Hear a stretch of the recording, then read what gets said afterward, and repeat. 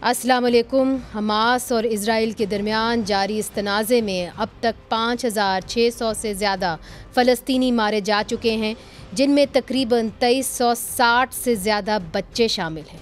जबकि हमास की जानब से किए गए हमलों में 1400 इसराइली हलाक हुए थे और 222 अफराद को जंगी कैदी बना लिया गया था। वाज रहे कि इसराइल पर आखिरी जो बड़ा हमला था वो सात अक्टूबर को हुआ था, जिसके बाद इसराइल का इस जंग में कोई बड़ा जानी नुकसान नहीं हुआ।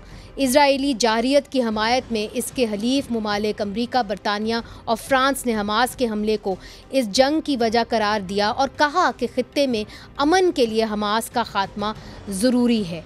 इस तनकीद का जवाब देते हुए अकवा मुतहदा के सेक्रेटरी जनरल का कहना था कि हमास के हमले बग़ैर किसी वजह के नहीं हुए थे। It is important to also recognize the attacks by Hamas did not happen in a vacuum. The Palestinian people have been subjected to 56 years of suffocating occupation. They have seen their land steadily devoured by settlements and plagued by violence, their economy stifled, their people displaced, and their homes demolished. Their hopes for a political solution to their plight have been vanishing. नाजरीन अफसोस के गज़ा से हज़ारों मील दूर होने वाले ये इजलास लफ्ज़ों की तकरार के बाद बेनतीजा जो है वो ख़त्म हो जाते हैं।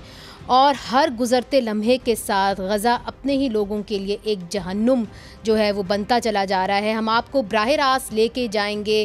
गाज़ा और वेस्ट बैंक इस वक्त हमारे साथ हैं। दालिया अलमिसरी जो मीडिया इन्फ्लुएंसर हैं वेस्ट बैंक से और हमें ज्वाइन कर रहे हैं।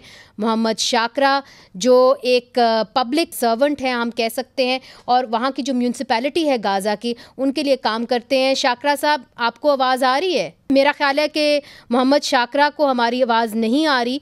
और हमें कुछ ऐसी आवाज़ें आ रही हैं जिसके नतीजे में हमें ये आ, उनसे रबता हमारा नहीं हो पा रहा और धमाके की आवाज़ें हमें इस वक्त सुनाई दे रही हैं। गाज़ा से हम बर रास्त कनेक्टेड हैं। हम कोशिश करेंगे फिर से मोहम्मद शाकरा से हमारी बात हो जाए मगर वहाँ पे सिचुएशन हालात इस वक्त ऐसे हैं कि गाज़ा के अंदर वक्ता फ़वक्ता बम्बारी हो रही है और मोहम्मद शाकरा जैसे कई ऐसे लोग हैं जिन उनको बंकर्स के अंदर जाना पड़ता है। अपनी जान बचाने के लिए बड़ी मुश्किल से हमने उनको कनेक्ट किया था। मगर अभी हम आपको बर रास्त वेस्ट बैंक ले जाते हैं, जहाँ दालिया अल मिस्री हमारे साथ मौजूद हैं।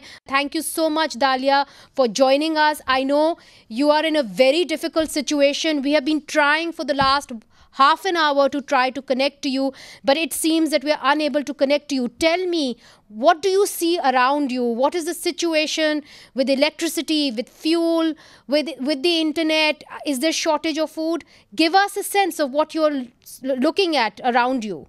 Our lives before uh, the 7th of October have been hell.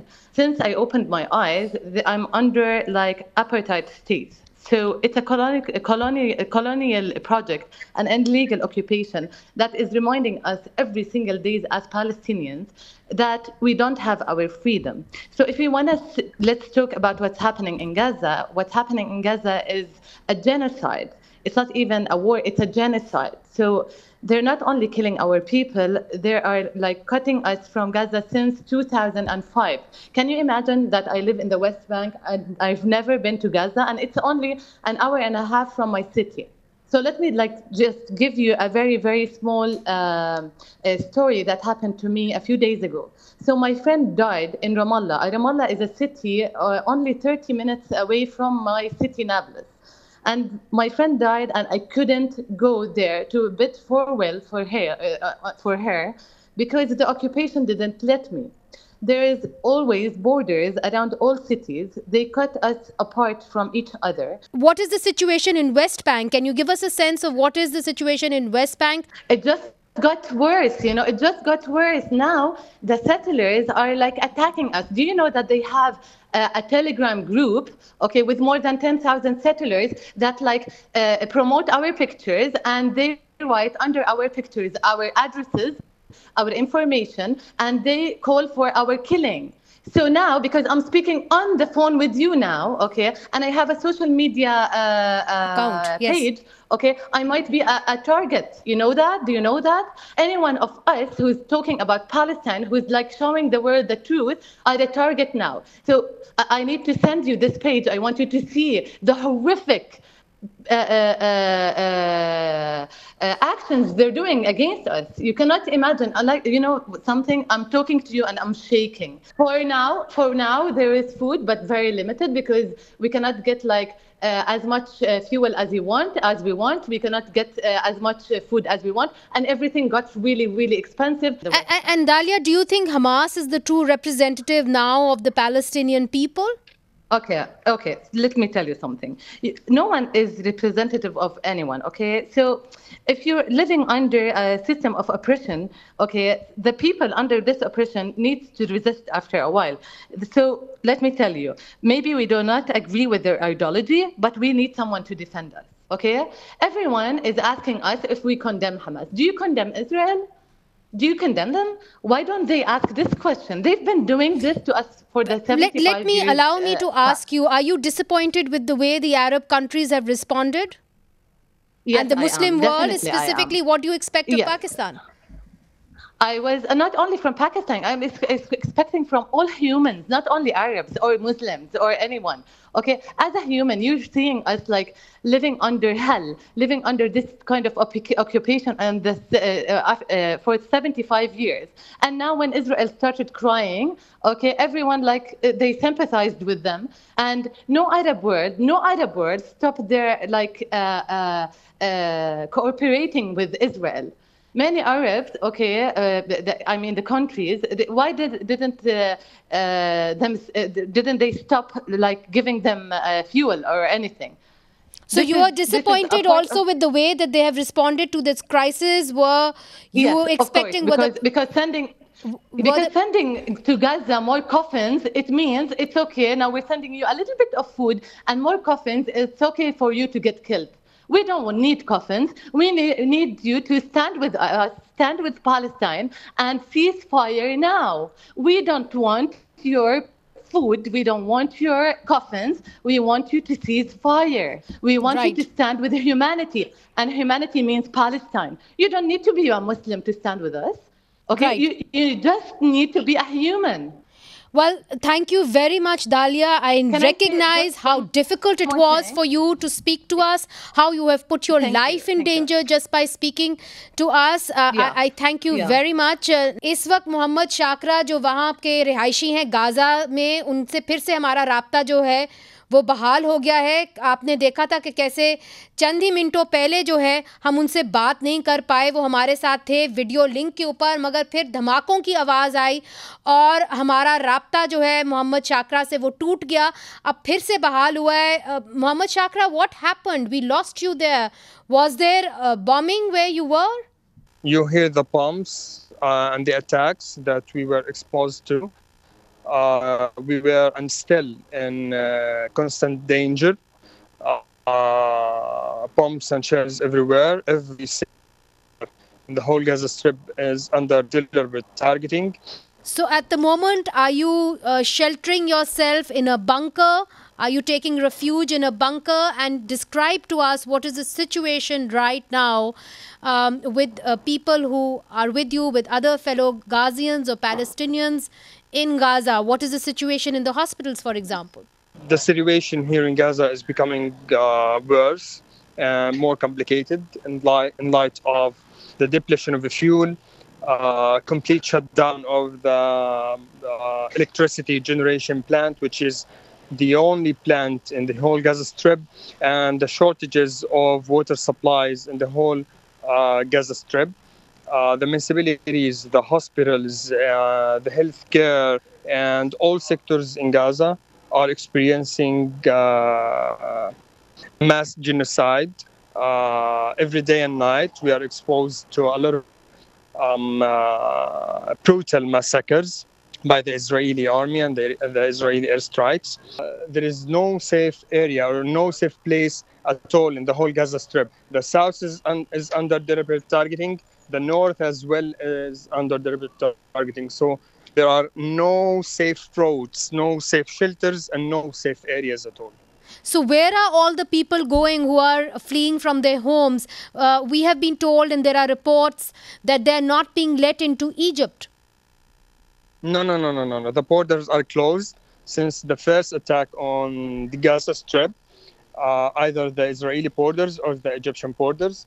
Uh, the people is uh, um, like uh, convoyed to the south. Um, in addition to the people who who, who are already living in the south, about 300 uh, civilians evacuated their homes from the north going to the south to the uh, UNRWA shelters and the UNRWA schools there. But as I told you, regrettably, they were bombed. Yes, but that that's what you're describing is almost like living hell, and our heart goes out to you, especially to the children of Gaza. Uh, what about food? What about medicines? Do you have access to that? No, no, no, no. No basic commodities allowed to pass to Gaza since the first attack on the Gaza Strip. The borders are closed. No humanitarian aid or assistance uh, allowed to pass to Gaza. Uh, the people here are suffering. We are going through a humanitarian crisis. Uh, the, the, the basic commodities such as food, water, and other basic commodities are not allowed to, pass to the people. Uh, we have a very um, lack uh, in the basic commodities, especially the water supplies. And what is your message to the Arab world? What are what were your expectations from the Arab world, the Muslim world, and specifically, what would you like Pakistan to do for the people the only, of Gaza? The only message that that uh, we must uh, stop and halt mass genocide right now. Proper recognition of the rights of the Palestinian people uh, is now. It is time to end the longest occupation in modern history. The time has come actually to raise our voices internationally and appeal for an immediate end to this brutal and indiscriminate uh, bombing and targeting of the uh, children, uh, women, elderly, and the civilians. Thank you. Uh, thank you very much, Mohammed Shakra, for speaking to us. We realize how difficult it was for you to speak to us. This is a war zone that you are speaking to us from, and we know that just few moments ago uh, you were bombarded where you were speaking to us from. Mohammed Shakra, जहाँ से हमसे बात कर रहे थे वहाँ पे बम्बारी हुई है बता रहे हैं कि कैसे गाज़ा के बच्चों को बड़ी बुरी तरह मारा गया है कैसे वो लोग इस इलाके से बाहर नहीं निकल सकते, एक लिविंग हेल बन गया है और लोग जो हैं वहाँ पे खुले आसमान की तरह के नीचे बैठे हुए हैं और उनको बस ये खदशा रहता है कि अब जो है उनके ऊपर बम्बारी की जाएगी। बता रहे हैं कि वहाँ पे खाने की किल्लत है, वहाँ पे बिजली नहीं है, वहाँ पे अद्वियात नहीं है और हस्पतालों के पास जो है फ्यूल भी है, वो ख़त्म हो गया है। उन्होंने अपील की है, दुनिया से अपील की है कि फ़ौर से जंग बंदी कर देनी चाहिए ताकि इनका जो राइट टू लाइफ है, ज़िंदगी का हक है, वो बहाल होए और इनका जो स्टेट है स्टेट ऑफ़ पैलेस्टाइन वो रिकगनाइज़ किया जाए। दालिया अल मिस्री साहिबा भी हमें यही बता रही थी, नाजरीन, इधर एक वक्फ़ा लेते हैं। वक्फ़े के बाद हम एक और कौम के ऊपर नज़र डालेंगे, जहाँ जंग बंदी तो हो गई है उनके मुल्क के अंदर, मगर अभी भी जान के ख़तरे की वजह से उनको वहाँ से नकल मकानी करनी पड़ी है, मगर जहाँ उन्होंने नकल मकानी की है, उनको वहाँ पे पनाह नहीं दी जा रही। और आज कल कई हलकों के अंदर आ, उनके हकूक़ के ऊपर बात करने के ऊपर भी पाबंदी है। वो मुल्क है पाकिस्तान और वो कौम है अफ़गान। हम ये बात करेंगे वक्फे के बाद। वेलकम बैक नाजरीन इस वक्त इस्लामाबाद में दफ़ा एक सौ चवालीस नाफिज है, जिसके तहत इज्तम की इजाज़त नहीं है।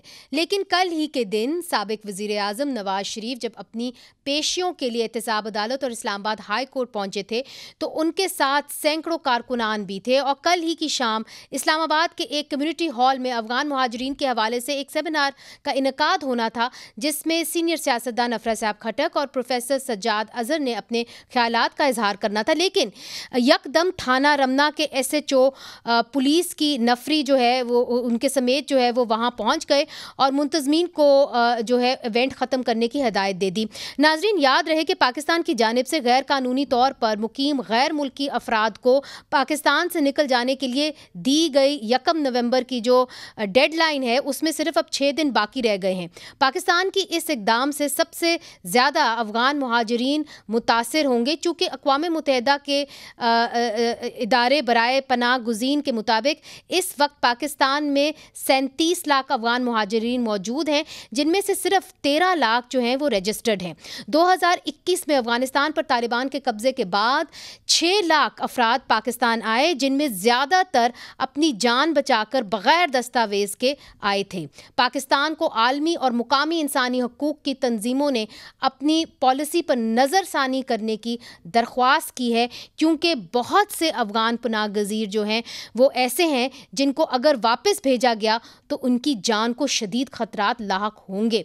इस मौजू पर बात करने के लिए हमने दावत दी है निगरान वफाकी वज़ीर निगरान वफाकी वज़ीर दाखिला सरफराज बुख्ती साहब को बहुत बहुत शुक्रिया आपने में ज्वाइन किया और हमारे साथ मौजूद होंगे सीनियर सियासतदान जनाब अफरा साहब खटक साहब। सबसे पहले सरफराज बुख्ती साहब अगर आपकी इजाज़त हो तो हम अफरा साहब खटक साहब से पूछ लें कि आखिर कल हुआ क्या? सुना है कि वहाँ पर पुलिस की नफरी पहुँच गई और उन्होंने आपको थ्रेटन भी किया और आप एक जो ब्लैक होल के मुंतजमीन थे ऑर्गेनाइजर थे, उनको पुलिस वैन के अंदर भी धकेल दिया। जी, बिल्कुल कल ऐसे हुआ। ब्लैक होल में सिविल सोसाइटी की मीटिंग होती है, डायलॉग होता है, मुजाकरे, मुनाजरे और बहस मुबासा होता है। तो कल इसी मसले पे बात करने के लिए हम लोग इकट्ठे हुए मीटिंग शुरू होने से चंद मिनट पहले पुलिस वहाँ पहुँची। ताना रमना के एसएचओ थे, उनके पास कोई लिखा हुआ ऑर्डर नहीं था, लेकिन उन्होंने कहा कि ये गैर कानूनी इज्तिमा है। हमने कहा कि ये तो कमरे के अंदर चंद लोग बैठे हैं, ये कोई जलसा जुलूस नहीं है या सड़क पे नहीं है, हम रोड पे या पार्क में नहीं है। तो लेकिन उसने कहा कि नहीं नहीं, ये जो जो यहाँ पे जलसा करेगा उसको गिरफ़्तार किया जाएगा, वगैरह वो एक आदमी को पकड़ भी लिया। हमने कहा बिल्कुल गिरफ़्तार कर लें सबको। गिरफ़्तार ही से तो कोई डरने वाले लोग तो नहीं है। लेकिन ये कि कानून के मुताबिक है ये सब कुछ, और वहाँ नौजवान थे, उन्होंने उनको तस्वीरें दिखाई कि एक दिन पहले यहीं पे एक इज्तिमा हुआ था, आपने कोई इतराज नहीं किया था। लेकिन मेरा ख्याल ये था कि मौजू की वजह से उन्होंने मुदाखलत की। तो जब वहाँ बैठे रहे हमने कहा कि नहीं हम नहीं जाएँगे हम यहाँ बात करके जाएँगे। तो उसके बाद एक मजिस्ट्रेट साहब आए उन्होंने भी हमारे साथ बात की उन्होंने कहा कि इजाज़त लेनी होगी। हमने कहा ये कोई जलसा तो नहीं है? एक जुलूस तो नहीं है? उन्होंने कहा कि लिए मैंने कहा मुनाजरा सेमिनार है मुजाकरा है। उन्होंने कहा कि नहीं। तो बहरहाल काफ़ी वक्त तक उन्होंने एक तरह से हमें घेरे रखा। और दो घंटे तक वहाँ हम बैठे रहे ये हमारे गिर्द खड़े रहे और हमें मीटिंग नहीं करने दी। और, और दो घंटे के बाद ज़ाहिर है कि लोग तो सारी रात वहाँ नहीं बैठ सकते थे। तो हमने कहा कि हम एहतजाजन चले जाएँगे लेकिन आपका ये कहना गलत है कि ये हमारा काम गैर कानूनी हमने कहा आपका काम आपकी मुदाखलत गैर कानूनी थी। अच्छा सरफराज बुख्ती साहब चूँकि आप वज़ी दाखिला हैं, एक तरफ़ से ये जो कम्युनिटी सेंटर के अंदर ये इवेंट हो रहा था, उसके ऊपर तो आपने कदगन लगा दी। और जिस तरह अफरा साहब खटक साहब कह रहे हैं कि एक दिन पहले भी वहाँ पे एक इवेंट हुआ था, उधर तो वहाँ पे कोई पुलिस की नफरी ने छापा नहीं मारा। और उसी दिन मियाँ नवाज़ शरीफ साहब बहुत बड़े कॉन्वॉय के अंदर इस्लामाबाद हाई कोर्ट भी गए थे। तो ये जो दो आप सलूक कर रहे हैं इस्लामाबाद की टेरिटरी में, इसकी क्या वजह है? देखिए खटक साहब हमारे बुज़ुर्ग हैं। मुझे इस सिलसिले में मेरे नॉलेज भी नहीं है और ये जो स्टोरी नरेट हुई है, इसके मुताबिक तो बिल्कुल पुलिस ने ज्यादती की है, लेकिन जब तक दूसरे फरीक को सुना ना जाए तो हतमी राय देना मुनासिब नहीं है। और जहाँ तक इस तरह के डायलॉग की बात है, इस तरह की डायलॉग सोसाइटी में होना चाहिए। और सोसाइटी में यही जो मिसपरसेप्शन है कि ये जो हम रेफ्यूजीज की बात कर रहे हैं या इलीगल सिटीजन की बात कर रहे हैं जो हमारे मुल्क में हैं इसका जो परसेप्शन है बाहर, वो कुछ ऐसा है कि शायद ये अफगान स्पेसिफिक है, कोई एथनिक है। तो इसी तरह का डायलॉग होगा तो हुकूमत को भी मौका मिलेगा वो अपनी चीज़ क्लियर करने का। तो हम उसके लिए बिल्कुल तैयार हैं। जब डायलॉग करना चाहें, खटक साहब हमें भी बुलाएँ, हम भी उस महफिल का हिस्सा हों और हम भी अपना पॉइंट ऑफ़ व्यू ज़रूर रखें कि बुनियादी बात यही है कि एक मिसपरसेप्शन है कि ये, खुदा न खास्ता कोई बिल्कुल अफगान स्पेसिफिक है या एथनिक स्पेसिफिक है। हम सिर्फ़ ये चाहते हैं कि वो लोग जो पाकिस्तान में इलीगल रह रहे हैं उसमें दो किस्म के इलीगल हैं। जी। एक तो वो इलीगल हैं जो जिस भी बुनियाद पे आए हैं किसी भी उस पे आए जैसे आपने अपने इंट्रो में कहा कि इंटरनेशनल कम्युनिटी है या एनजीओ है ये इंटरनेशनल कम्युनिटी रशियंस को क्यों नहीं कहते? उनका भी तो बॉर्डर है। हम्म। वहाँ उनको भी खोल दें ईरानियंस को क्यों नहीं कहते हैं? बाकी सेंट्रल एशियन स्टेट्स हैं उनका अफ़गानिस्तान के साथ बॉर्डर है उधर क्यों नहीं कहते हैं? हमारे यहाँ प्रॉब्लम ये है कि हम जो इलीगल्स हैं वो दो किस्म के हैं। एक वो है जिन्होंने हमारी आइडेंटिटी थेफ्ट की है। और उस आइडेंटिटी थेफ्ट में ज़ाहिर है हम लोग शामिल रहे हैं। और हम जब शामिल रहे का मतलब है कि हमारा इदारा नादरा जो है वो उनको शनाख्ती कार्ड देता रहा है। अब पोलिटिकल इन्फ्लुएंस पे देता रहा है या कुछ रिश्वत पे देता रहा है पैसे पे देता रहा है। तो वो तो सिक्योरिटी ब्रीच तो हुई है। अब डाटा ब्रीच तो हुआ है। अब उसमें जो लोग आए हैं लेकिन वो है तो इलीगल तो हम उनके खिलाफ भी ज़ाहिर ऑपरेशन करेंगे उनकी प्रॉपर्टीज़ के खिलाफ भी करेंगे। और फिर वो जो किसी भी वजह से यहाँ पर आए हैं लेकिन कोई ट्रेवल डॉक्यूमेंट नहीं है कोई उनकी हमारे पास कहीं जियो फेंसिंग में नहीं है रडार में नहीं है कौन लोग हैं कहाँ रह रहे हैं दुनिया में जहाँ भी रेफ्यूजीज जाते हैं वो एक रेफ्यूजीज कैंप में रहते हैं बॉर्डर के करीब रहते हैं। सोसाइटी में तो मिक्स नहीं होते हैं। मगर सरफराज मुफ्ती साहब ये तो बड़ी तादाद में है। लोग ये पूछना चाह रहे हैं कि आप इनको वापस भेजेंगे कैसे? सुना है कि आपने अटक के अंदर जो है वहाँ पे एक स्कूल खाली किया जिसके सौ कमरे हैं। तो क्या उनको वहाँ पे नज़रबंद किया जाएगा? आपकी स्ट्रैटेजी क्या है? कैसे वापस भेजेंगे इतनी बड़ी तादाद में अफगानियों को? और ये तो U N H C R भी ये कह चुकी है कि जी हम तो ये कहेंगे कि ये जो है वॉल्टियर के तौर पर वापस आप इनको भेज सकते हैं। ज़बरदस्ती नहीं आप इनको भेज सकते जो बैन अवी कवानीन है उसके मुताबिक। देखें हमने जो ट्रीटी है 1960s में वो जो हुई थी वो हम उसके सिग्नेटरी नहीं है। और दूसरी बात यह है कि हम बिल्कुल हमने प्लान बनाए हमने सेंटर्स बनाए हैं, उनका हमने नाम दिया है होर्डिंग होल्डिंग सेंटर्स जहाँ पर हम उनको बाइज्जत रखेंगे। खास तौर पे खातन और बच्चों के लिए बड़ी क्लियर कट डायरेक्शन है टू लॉ इन्फोर्समेंट कि उनके साथ किसी किस्म की कोई बदतमीजी नहीं की जाएगी। लेकिन ज़ाहिर है, हमने स्टेट ने अपनी रेट इस्टेब्लिश करनी है। हमने उन लोगों को जो इलीगल यहाँ रह रहे हैं, अब बदकिस्मती से उनकी ज़्यादा तादाद जो है वो पश्तून है और ज़्यादा तादाद अफ़गानिस्तान से है। तो अगर वो किसी और मुल्क से हैं वो चाहे ईरान के बलोच हों चाहे वो कोयटा में रहने वाले हजारा हों जो भी इस मुल्क में इलीगल रह रहे हैं उसके लिए हमारी ये प्लान है कि हम उनको डिपोर्ट करेंगे और उसके लिए हमने पूरा प्लान बनाया है हमने पूरे टास्क फोर्स बनाया है प्रोवेंशियल गवर्नमेंट्स की जिम्मेदारियाँ लगाई गई हैं सेंटर्स बनाए गए हैं और उनको ट्रांसपोर्ट करेंगे जी डिपोर्ट करेंगे।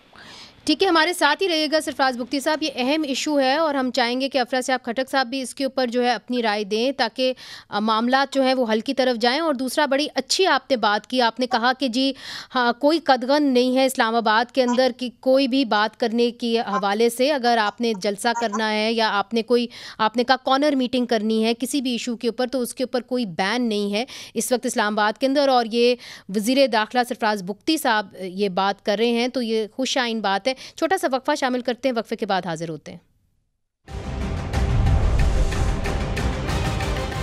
वेलकम बैक नाजरीन इस वक्त हमारे साथ हैं निगरान वफाकी वज़ीर दाखिला, जनाब सरफराज बुख्ती साहब और सीनियर सियासतदान जनाब अफरा साहब खटक साहब। और बातचीत हो रही है कि ये जो अफ़गान महाजरीन है, अब इनको कैसे वापस भेजा जाएगा? सरफराज बुख्ती साहब ने ब्रेक से पहले कहा कि हमने बाकायदा एक प्लान बनाया हुआ है कि इनको कैसे वापस भेजना है। अफरा साहब खटक साहब, आपने सरफराज बुख्ती साहब की बात सुनी। उन्होंने कहा कि एक तो हमने प्लान बनाया हुआ है, दूसरा ये है कि आलमी दुनिया रशिया को क्यों नहीं कहती कि जी आप वहाँ पर अफ़गान महाजरीन को या ईरान ईरान को क्यों नहीं कहती कि आप वहाँ पे उनको अकोमोडेट करें? तो हमने जो, जिन लोगों के पास दस्तावेजात नहीं है, उनको वापस तो भेजना है।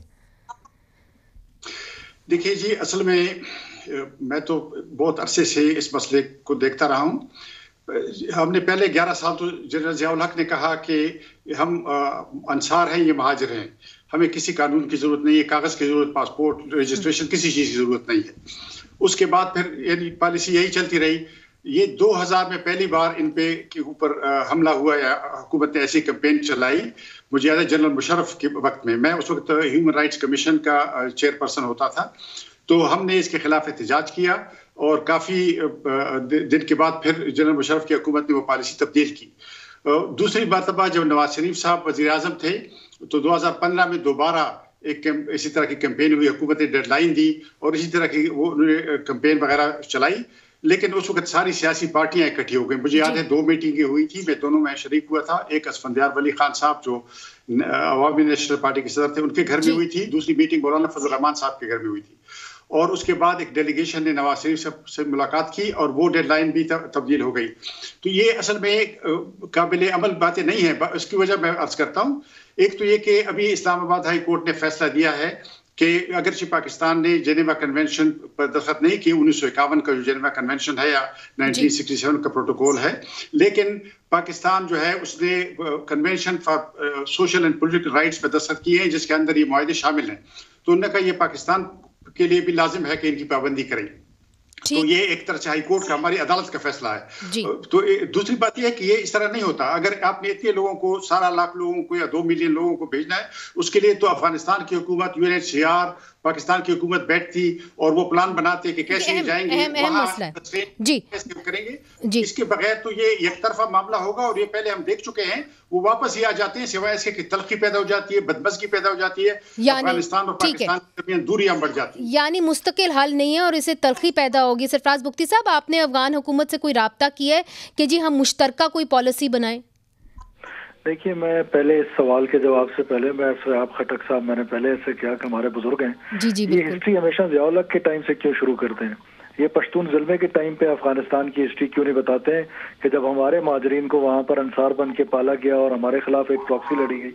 वो सूफी जुमा खान ने उस पर बड़ी एक ज़बरदस्त किताब भी लिख ली है। तो आपके कायरीन के लिए आपके नाजरीन के लिए ताकि वो पढ़ लें। एनी हाउ जहाँ तक रही बात आपके सवाल की सॉरी अगर आप अपना सवाल मैंने ये कहा कि आप वो ये कह रहे हैं कि देखिए आप कम अज कम जो अफगान हुकूमत है उनसे रबता करें ताकि एक मुश्तरका जी, पॉलिसी बनाई जाए। नहीं तो ये वापस आ जाएँगे फिर से। कोई मुस्तकिल हल तो नहीं है। देखिए आप अफगान या यूएनएचसीआर के साथ खास तौर पे यूएनएचसीआर का जो ज़िक्र हो रहा है जिनका रेफ्यूजी स्टेटस है जिनके पास रेफ्यूजीज कार्ड हैं वो तो हमारे मेहमान हैं। जो अफगान लीगल यहाँ पे आना चाहता है, वो हमारा मेहमान है, हमारा ब्रदर इस्लामी मुल्क है, हमारा भाई है, हमारा हमसाया है, हमारा उनसे तो कोई वो नहीं है। हम अफगान हुकूमत के साथ फॉरेन ऑफ़िस का काम है फॉरेन ऑफ़िस अपनी तरी- पे उनसे बातचीत कर रही है और ये प्लान से पहले हमने उनको आगाह किया है। अब यहाँ तक अफगान की बात है, ठीक है, लोग सफ़र ज़रूर करेंगे, हम भी तो सफ़र कर रहे हैं। चौबीस में से चौदह हमले तो अफगान नेशन ने हम पर सुसाइड किए हैं पिछले आठ महीनों में। तो ये सारी चीज़ें हम हमारा पाकिस्तान भी तो सफ़र कर रहा है। हम अफगान ट्रेड की वजह से हमारा कारोबार सफ़र कर रहा है। हम लीड कर रहे हैं। तो क्या हमारा ये हक नहीं है? ये किसी भी मुल्क का दुनिया में कहीं पर भी हो। आप सिर्फ़ इससे अंदाज़ा लगाएँ कि जिन अफगान भाइयों ने इंग्लैंड के साथ कनाडा की फौज के साथ या नेटो की फौज के साथ काम किया है जिन्होंने इस हमारे मुल्क से बाहर जाना है हम ट्रांजिट पे उनको फैसिलिटेट कर रहे हैं। उनको एक साल हो गया दो साल हो गए वो अभी तक उनके डॉक्यूमेंट्स पूरे नहीं कर सके। अपनी बारी भी तो इतना सेंसिटिव है। और हमारी बारी में कहते हैं कि हम अच्छा मगर मगर फिर भी। अ, वो ये कहते हैं कि जी अगर आप इनसे मुश्तरका कोई मामला हल करके करेंगे तो फिर तलखियाँ भी नहीं बढ़ेंगी। मगर एक चीज़ आपसे ज़रूर तलखी चूँकि तो- वक्त की किल्लत तो भी है। चौदह हमले चौदह हमले हो चुके हैं हम पर खुदकुश तो तलखी तो हमारे हमारा तो तलखी अच्छा, इसके ऊपर- जब टीटीपी इसके ऊपर एक अलग प्रोग्राम आपके साथ करेंगे क्योंकि आज आप बड़ी मुश्किलों से मिले हैं तो आपसे ये करना ये बात बड़ी ज़रूरी है कि आप इलेक्शंस होते हुए कब देख रहे हैं? और आज जो इलेक्शन कमीशन ऑफ़ पाकिस्तान ने आपकी मिनिस्ट्री को बुलाया, तलब किया और कहा कि अगर इमरान खान साहब को आप पेश नहीं कर सकते, चूँकि आप उनके, उनकी हिफाजत नहीं कर सकते तो फिर आप इलेक्शंस कैसे कराएँगे? तो उसके बारे में आप क्या कहेंगे? देखिए, एक तो इलेक्शन जब होने होंगे तो जब इलेक्शन कमीशन अनाउंस करेगा तो हमने तमाम सिक्योरिटी के जो इंतज़ाम हैं, उसके लिए हम एक प्री रिक्विजिट जो मीटिंग्स हैं जो हमारे अवेलेबल रिसोर्सेज हैं हम उसमें इलेक्शन कमीशन को असिस्ट भी करेंगे। मगर देखिए, कलामी माफ़ इलेक्शन कमीशन ऑफ़ पाकिस्तान जो है उसने कुछ तो आपको इंडिकेशन दी होगी। आफ्टर ऑल आपने प्रिपरेशंस करनी मेरा ख्याल है कि मेरा ख्याल है कि within two three months ये इलेक्शन हो जाएँगे। अ, ये मेरा अंदाज़ा है मेरी इतला नहीं है तो आप इसको कोड भी इसी तरह कीजिएगा।